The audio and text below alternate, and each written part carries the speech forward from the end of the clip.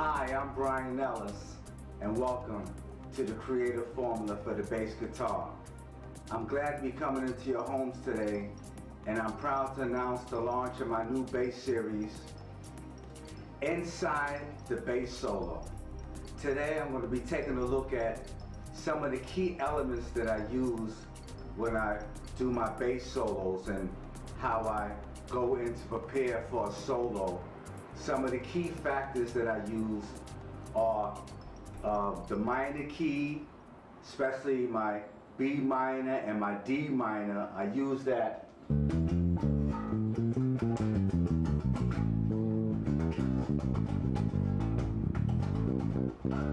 as a launching pad and also I usually take um, a simple pattern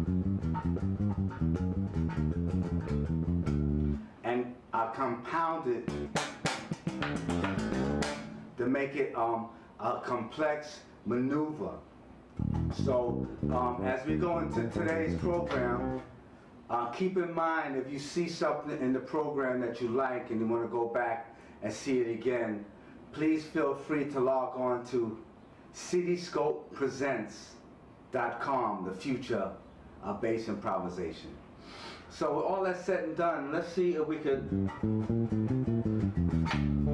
go inside the bass solo. Um, today, I'm going to be working in um, B minor.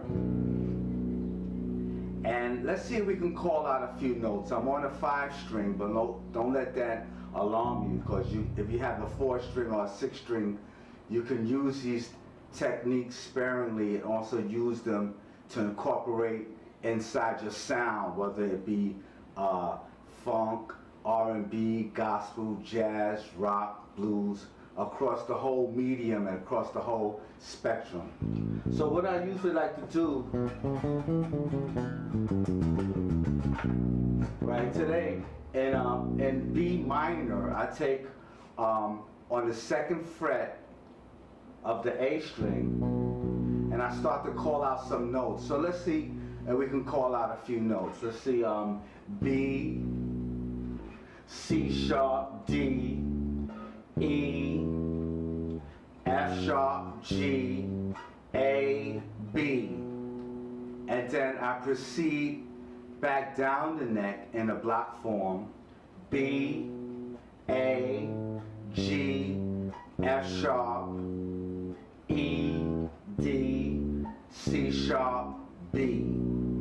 Now once I have my B, I usually like to um, couple it with my open A.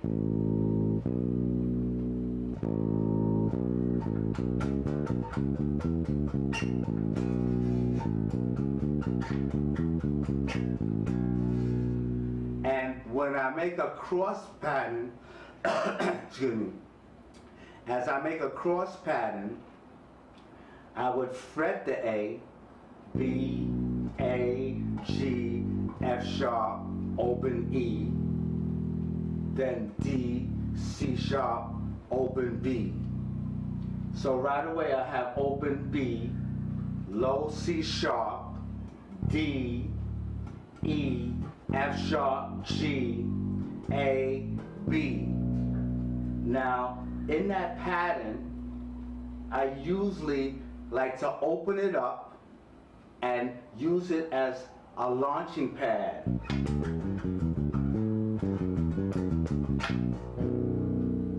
And as I open it up, it takes me into uh, something I developed which is used quite often now in bass and also uh, in improvisational skills and studies is the quadro spectrum fingering which was which I developed um, and it related to four fingers on four strings on four frets. But now, as we um, develop and we went ahead and we now playing four string, five string, six string, and so on, right?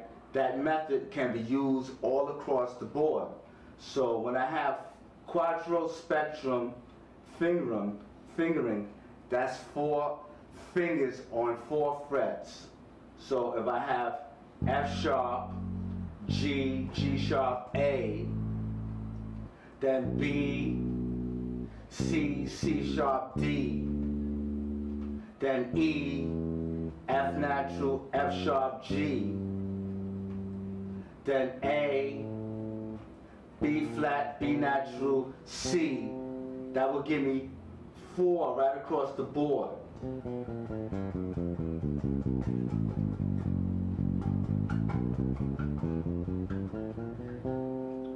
Now, I also use that as a proliferation for my chop builders because I can take that, right, that sequence of fours, right, and keep in mind that my thumb is right behind uh, my middle finger here so I can get a nice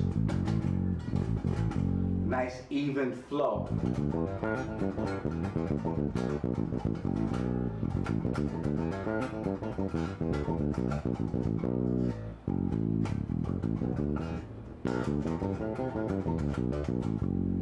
Right, get that nice stretch. And also the proliferation of the chop builders, I could use that as four and four. Right, four, then I proceed down.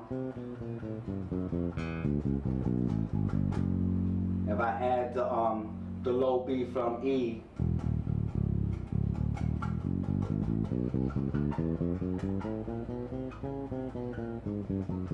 nice and even.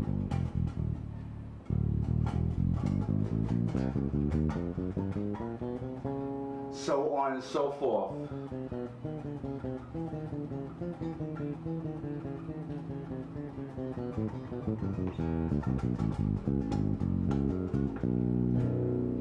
And go right back into my B.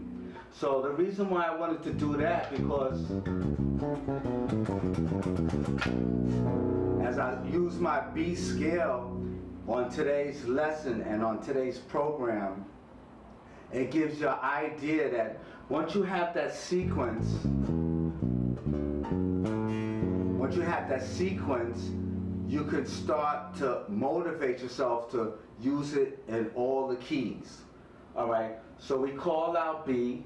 Let's start again, right? Let's see if we could do a, a linear form, all right, on the A string, right? So I have B, C sharp, D, E, F sharp, G, A, then B on the 14th fret of the A string. I'm going to use that a lot because this is going to be the interlocking factor when I couple it with my low B. This is like our home row. The 12th, the 12th fret is your home row because it's going to have the same notes as your open strings. And,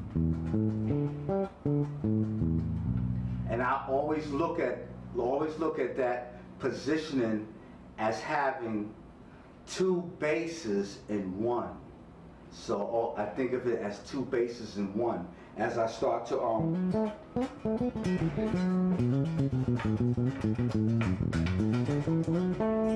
as I start to do my call and response, it'll link me right in to my mirror mode. So we started under um, A string, and I'm on B, right? So I have B, A, G, F sharp, E, D, C sharp, B.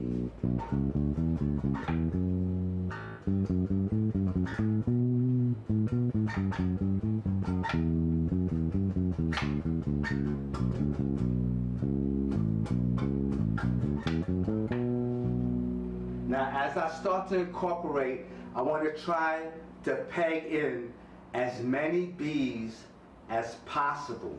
So I have my open B, right, on the um, my my uh, B string. Then I have fretted B on the second fret of the A string. Then I have um, my fretted B on the seventh on the seventh fret of the E string. Right, seven, eight, nine. Then I have my octave, the ninth fret of the D string. Right, then I have um, the fourth fret of my G string. And I try to link as many beats as possible.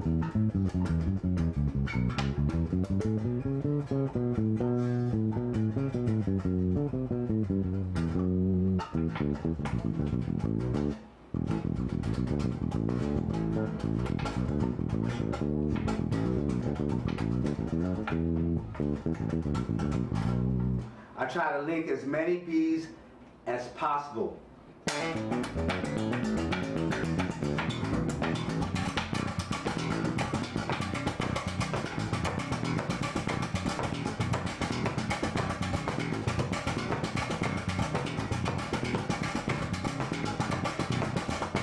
I try to link as many B's as possible and that will open up a lot of doors to get some tones.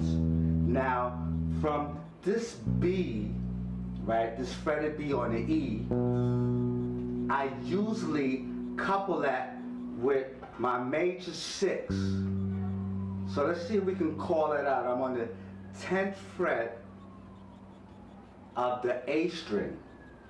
So I would have G, A, B, C, D, E, F sharp, G, my G major. And what I usually like to do, I usually like to proceed right down the neck, G, F sharp, E, D, C, B, Now you notice that B, which will be my major third of G, give me that tonality, almost that diatonic tonality.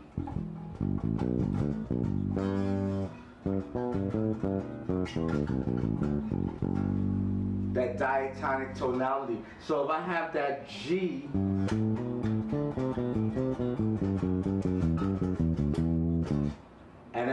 up a lot of characteristics if I'm in like um, a B minor mode.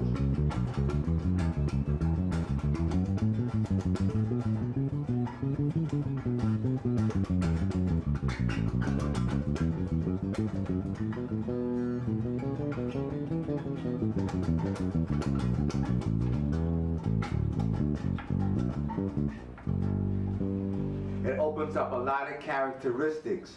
So we had B minor and we had G major. Now let's see if we can open up a few more doors, right? Right after we take this little solo. Baba the berry, Baba the do be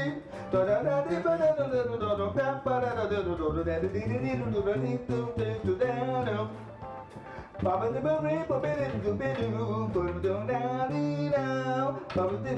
wee, the do the do do do do do do do do the boom the do down. Baba the da da da dum da da da dum da da da dum da da da.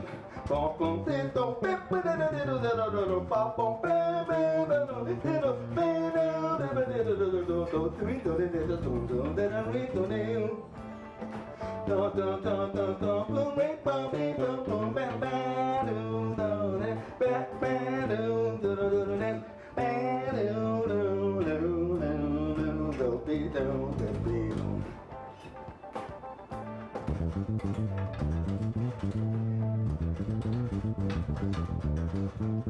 don't be the better. As we started off, and as we left off on the B, in the B scale, B minor, we started to open up a lot of doors. And I want to continue on explaining how I do a lot of cross patterns. I usually take my pinky, right, and my theory and my analogy about the pinky is that the pinky, right, if I was to take my hand, right, like, and just take it off and turn it around, the pinky will have just as much strength as my uh, first uh, or my index finger. So you will see me, will see me use a, a lot of pinky maneuvers.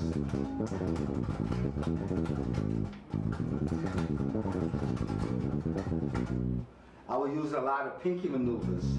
And right across on that, on that B, I usually take my pinky as a launching pad, right? And I'll make that cross maneuver.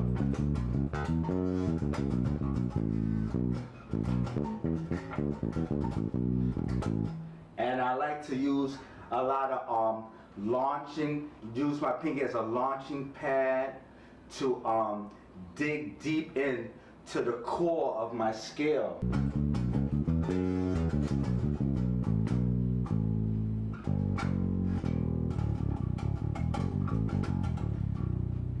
and incorporate it right into the meat of my scale pattern.